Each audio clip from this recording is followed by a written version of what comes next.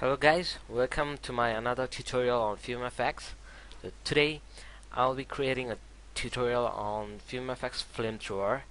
Um, uh, hope you guys have watched the preview in my previous video. I have just published the preview. So if you have not watched yet, you can go back and I'll be providing a, a link on the description. You can just check the preview out there. so today we'll be using FumeFX and particle flow inside 3ds Max to create a cool looking flamethrower. So let's begin up by setting up a particle system.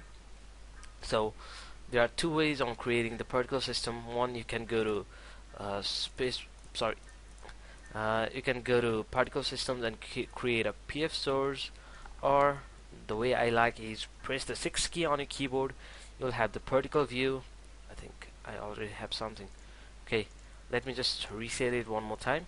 Okay yes. And then press the 6 key you'll have the particle view. So since I have just reduced my uh, screen resolution for the record it's really small space but no problem. I can work on that. And then we can create our particle system from here. So we have got different types of particle system. From edit new particle system or right click new particle system preset flow empty flow standard flow and different types. So I'll be using a standard flow okay? So this is the same as if you have created from here. So first thing what I'm gonna do is I don't need rotation so I'm going to delete it. And then I won't be needing shape as well. Let me delete that. Okay. And then let me just set up my particle system. So first of all let me select this and then just rotate it uh, 90 degree press A to angle snap it and then just move it a little up. Okay. And then I'm gonna set my size. Select the PF source right here. Sorry render right here. Not here. Okay. Select the PF source and then choose the length and width I'll be using 10 by 10 okay uh, so I just want this to be quite smaller. And then I'm gonna select my birth uh, okay birth and then I want to emit stop it at 100 so I want this to run in the full time okay. And then uh, I just don't want to use amount because I want to use the rate so that uh, the particles will emit at the rate of uh, certain that we assign as per time. So I'll be using about 120 okay? So that'll be we'll have enough amount of particle.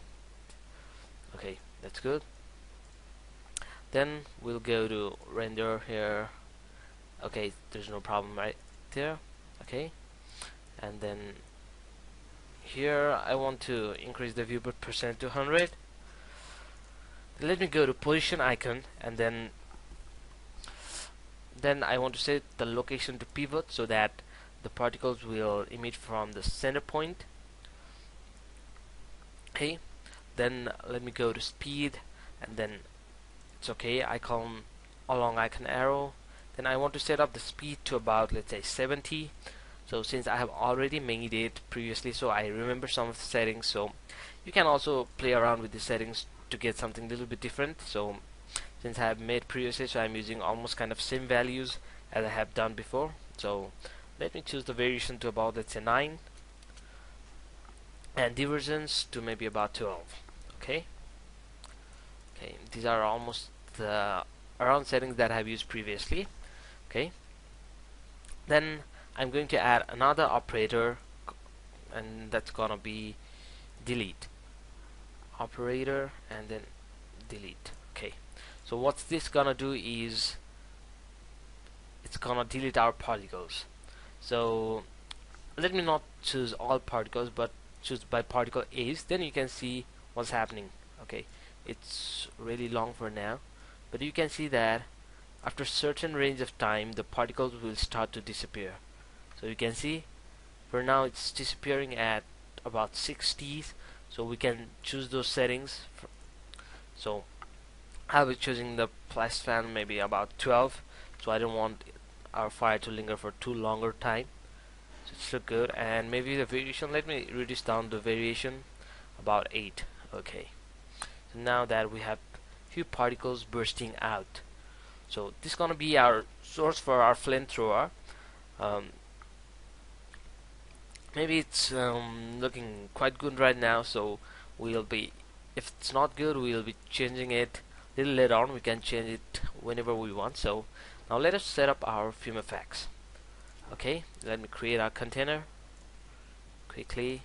Let me go to top view and manage my container a little bit better. Okay and then let me reduce the length. Okay and don't ever scale your container otherwise you will be messing up with your settings and you will not get the right settings. So just increase or decrease your length and width from here okay? And maybe from the for the height. I want the height to be a little longer so because our flame will rise up at the end. I think that's looking good. And then let me create our particle source.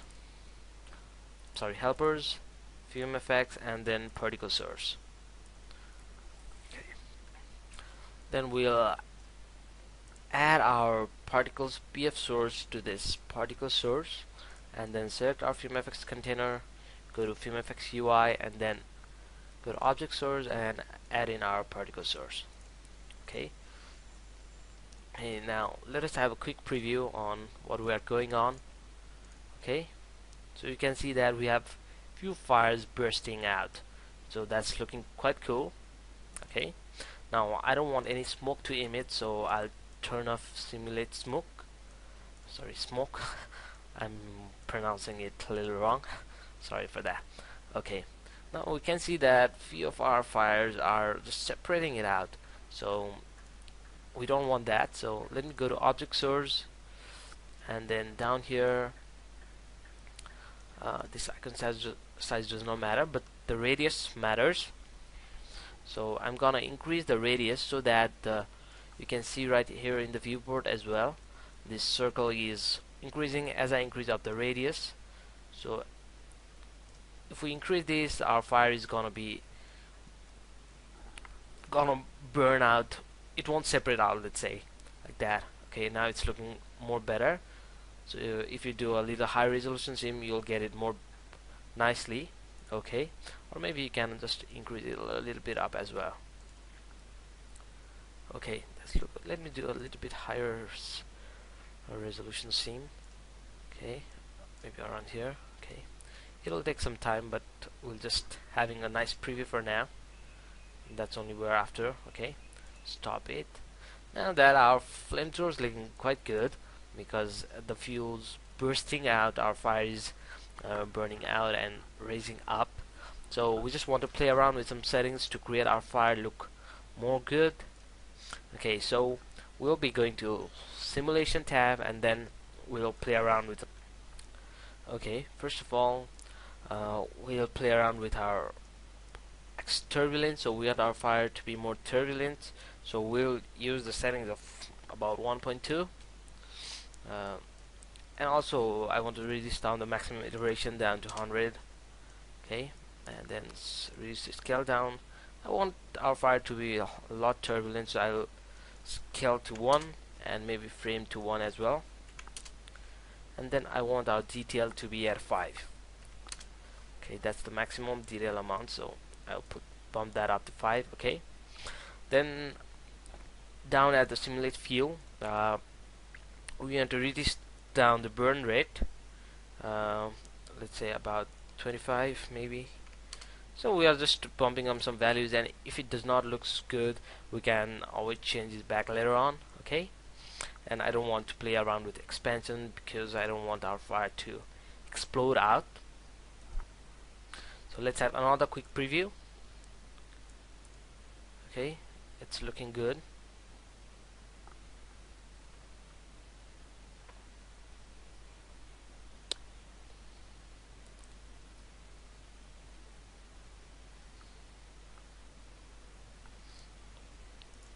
stop it right here. So our fire is um, kind of lingering too much upward so we want to control that.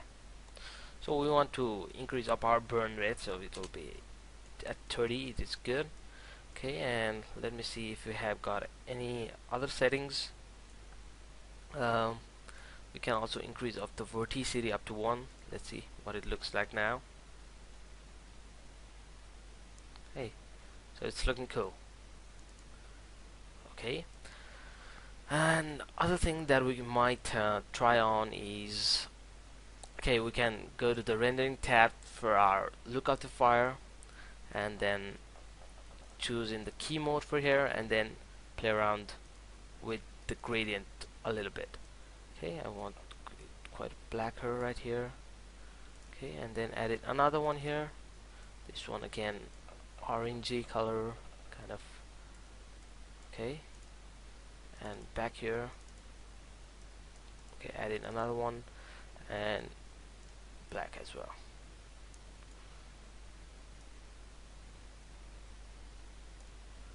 And one right in here as well. Sorry. Almost kind of this kind of color. Okay and this one I want it to be a little more brighter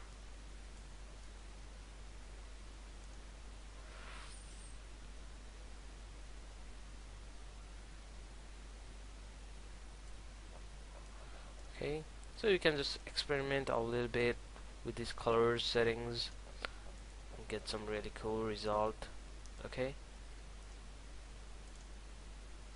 Okay it's not good at all. So let me add in a darker color version right here as well. Okay and then oh sorry it's kind of greenish I don't want that okay. And then I want it to be a little more yellowish. Okay this one maybe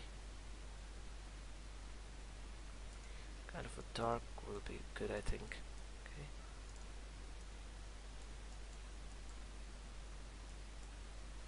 Okay. And then this one again I want to play around. So you can just play around to get the perfect result. So what you want you can get around by just playing around with these settings.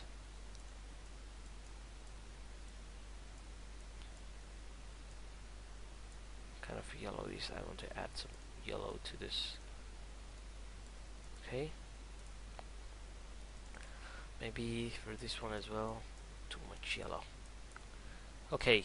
So you can just play around get some more result and then also play around with these color values and then to the opacity I want to play around with these curves a bit. Okay. So get this down. Okay.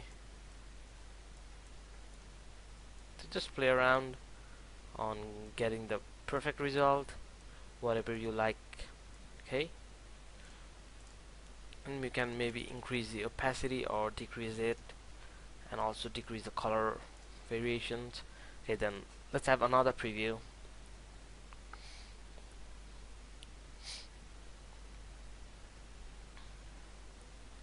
So it's uh, getting quite nice.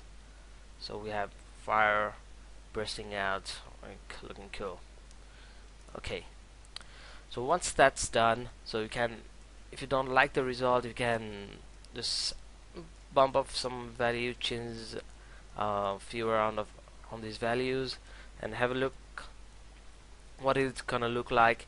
You can play around with your burn rate. So maybe increase it up or decrease it down.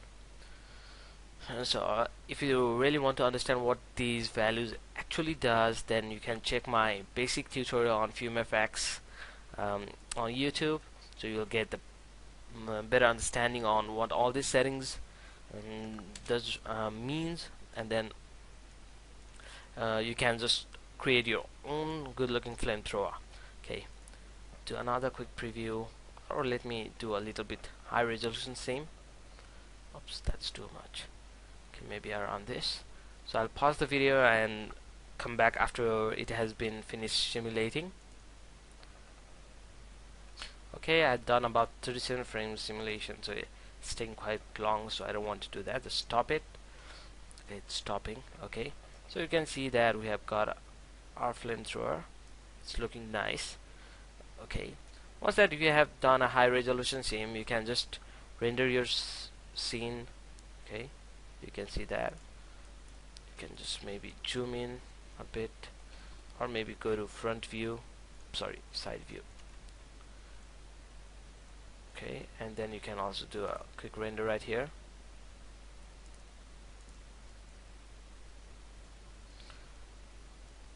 Okay do a render.